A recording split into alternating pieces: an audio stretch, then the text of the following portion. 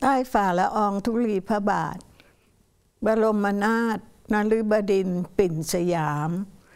เฉลิมพระชนพรรษาพระภูบาล ทั่วเขตคามแท้สองสนองทูล พระทรงเป็นภูมินพวินเลิศ ทรงก่อเกิดโครงการเด่นเป็นไอศูนย์สนองพระเดชราชันเจิดจำรูน อนันตกูลนพรัตน์วัฒนา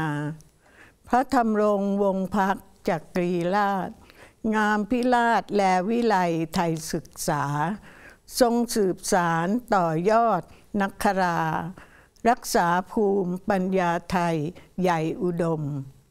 ถ้าทรงธรรมตามแบบศาสนา อุปถัมภ์คัมปชาพาสุขสม สมาคมสตรีไทย มุสลิมฝ่ายนิยม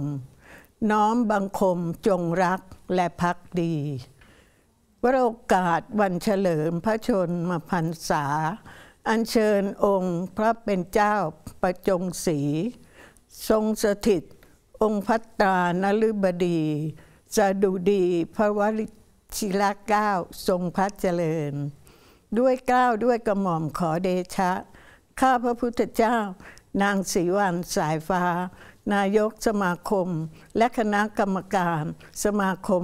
สตรีไทย มุสลิมแห่งประเทศไทย